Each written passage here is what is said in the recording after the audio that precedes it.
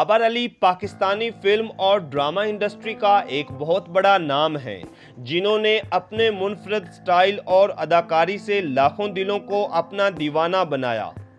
बाबर अली अपने लंबे बालों की वजह से काफ़ी पसंद किए जाते थे और इनके हेयर स्टाइल की वजह से ही इनको शोबिस इंडस्ट्री में जगह मिली। बाबर अली 30 जून सन 1975 में सियालकोट में पैदा हुए।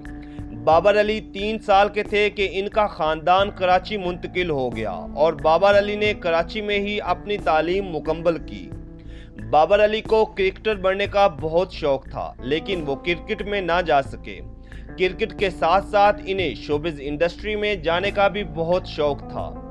बाबर अली को अदाकारी का इतना शौक था कि वो अक्सर पीटीवी कराची सेंटर के बाहर खड़े रहते और आते जाते अदाकारों को देखते रहते। कई बार अंदर जाने की कोशिश की, लेकिन कोई इन्हें अंदर ही ना जाने देता। बाबर अली एक खूबसूरत नौजवान थे और ऊपर से इनके लंबे बाल इनकी खूबसूरती को चार चाँद लगा देते। काफ़ी दिन पीटीवी कराची सेंटर के दरवाजे पर खड़े हुए बाबर अली पर आखिर किस्मत की देवी मेहरबान हो गई। एक दिन पीटीवी कराची सेंटर में ड्रामा सीरियल लब्बैक के ऑडिशन हो रहे थे। और बाबर अली भी ऑडिशन देने के लिए वहाँ पहुँचे। लेकिन फिर बाबर अली को किसी ने अंदर ही ना जाने दिया।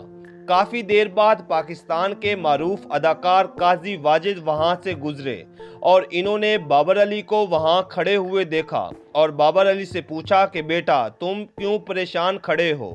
बाबर अली ने बताया कि अंदर ऑडिशन हो रहे हैं और मुझे अंदर नहीं जाने दे रहे। काजी वाजिद ने बाबर अली का हाथ पकड़ा और इन्हें अंदर ले गए। अंदर ड्रामा लब्बैक के डायरेक्टर कासिम जिलानी, मोहम्मद बिन कासिम के किरदार के लिए लड़कों के ऑडिशन ले रहे थे और बहुत ज़्यादा तादाद में लोग ऑडिशन के लिए खड़े थे। जैसे ही कासिम जिलानी की नज़र बाबर अली पर पड़ी तो इन्होंने ऑडिशन रुकवा दिए और कहा कि मुझे ड्रामे के लिए मोहम्मद बिन कासिम मिल गया।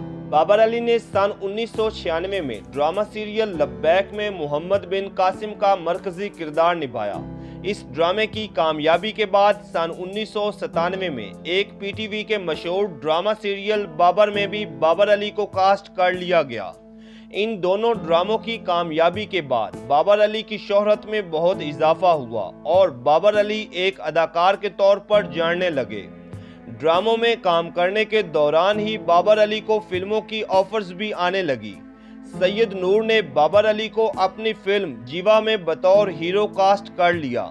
फ़िल्म जीवा ने पाकिस्तानी बॉक्स ऑफ़िस पर बहुत ज़्यादा कामयाबी हासिल की और इस फ़िल्म की कामयाबी के बाद बाबर अली सफ़े अव्वल के अदाकारों में शामिल होने लगे। फ़िल्म जीवा में बाबर अली पर पिक्चराइज होने वाला एक गाना, जानू सुन जरा, बहुत ज़्यादा मकबूल हुआ। फ़िल्म जीवा के बाद बाबर अली के पास फ़िल्मों की ऑफर्स की लाइनें लग गईं। पाकिस्तानी फ़िल्म इंडस्ट्री में वहीद मुराद के बालों के स्टाइल के बाद बाबर अली के बालों के स्टाइल को बहुत ज़्यादा पसंद किया गया और बहुत से लोगों ने बाबर अली के हेयर स्टाइल को कॉपी किया। बाबर अली एक से बढ़कर एक कामयाब फ़िल्म में काम करते गए। इसी तरह बाबर अली ने साथ साथ पीटीवी ड्रामों में भी काम जारी रखा। सन 1999 में drama serial Boota from Toba Tek Singh और सन 2002 में ड्रामा सीरियल लंडा बाज़ार में काम किया और इन दोनों ड्रामों ने ही मकबूलियत में तारीखी कामयाबी हासिल की। लेकिन बाबर अली ने ज़्यादातर अपना रुझान फ़िल्म इंडस्ट्री में ही रखा। बाबर अली ने अपने वक्त की हर कामयाब अदाकारा के साथ काम किया, लेकिन बाबर अली और रीमा की जोड़ी फ़िल्म इंडस्ट्री में बहुत मकबूल हुई। बाबर अली ने बहुत सी उर्दू पंजाबी फ़िल्मों में काम किया। इनकी मशहूर फ़िल्मों में जीवा, मुंडा बिगड़ा जाए, लव पचानवे, मिस अस्तम बोल राजा पाकिस्तानी, जेवर, जो डर गया वो मर गया, दूल्हा लेकर जाऊँगी, मुझे जीने दो, मेहंदी वाले हाथ, घर कब आओगे खोए हो तुम कहाँ? और उकाबों का नशेमन जैसी फ़िल्में काबिल ज़िक्र हैं। सन 2000 के बाद पाकिस्तान में उर्दू फ़िल्मों का रुझान कम होना शुरू हो गया और ज़्यादातर पंजाबी फ़िल्में ही बन रही थीं और पंजाबी फ़िल्मों में शान मरकजी हीरो नज़र आते थे। बाबर अली ने भी पंजाबी फ़िल्मों में काम करना शुरू कर दिया, जिनमें इन्होंने कुछ फ़िल्मों में बतौर हीरो और कुछ में विलन के किरदार निभाए। और फिर पंजाबी फ़िल्म इंडस्ट्री भी जवाल पजीर होना शुरू हो गई। बाबर अली ने फ़िल्म इंडस्ट्री की बजाय अपनी तवज्जो दोबारा ड्रामा इंडस्ट्री की तरफ़ कर ली और ड्रामों में काम करना शुरू कर दिया। सन 2002 में बाबर अली का ड्रामा सीरियल लंडा बाज़ार, जिसमें बाबर अली के बाली के किरदार को बहुत शोहरत मिली। दोबारा सन 2016 में इस ड्रामे का सीक्वल लाल इश्क के नाम से बनाया गया और इस ड्रामे में भी बाबर अली ने मरकजी किरदार निभाया और एक बार फिर साबित कर दिया कि बाबर अली एक वर्सटाइल अदाकार हैं। यहाँ हम अपने नाजरीन को ये भी बताते चलें कि बाबर अली के साथ एक दफ़ा एक दर्दनाक वाक़ पेश आया। बाबर अली अदाकार शान के साथ एक फाइट सीन कर रहे थे कि अचानक बाबर अली ऊंचाई से गिर गए और इनकी टांगों की हड्डियाँ टूट गईं, जिससे इन्हें काफ़ी नुकसान हुआ। लेकिन बाबर अली ने हिम्मत न हारी और ठीक होते ही अपनी सरगर्मियाँ जारी कर ली।